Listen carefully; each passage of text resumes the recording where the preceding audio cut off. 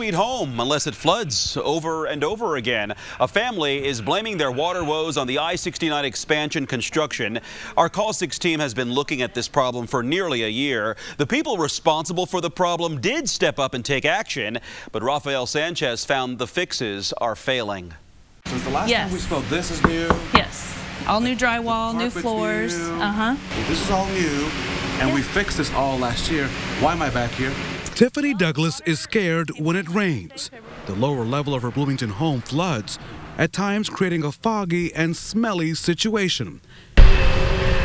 It's happened ever since the I 69 expansion project began behind her backyard.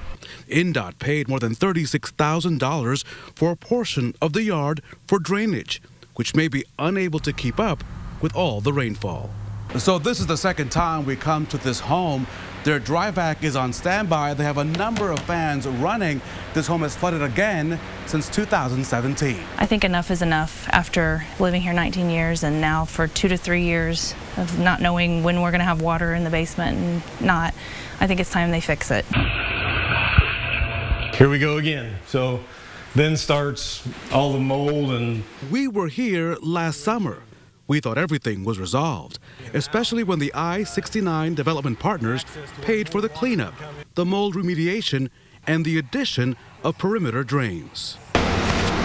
But this has become emotionally draining when what they believed was fixed And she was excited to finally have her room all finished, but now there is water. continues to raise fears. it's definitely frustrating when mom is hap- not happy. Nobody's happy, and especially after we've done this time after time again, and a lot of uh, a lot of frustration boils from things that we have no control over. In Bloomington, Rafael Sanchez, RTV6. And tonight we are hearing from INDOT. In a statement to RTV6, the agency says that on February 28th, an engineer, independent appraiser, and two INDOT representatives conducted an on-site assessment of the Douglas property.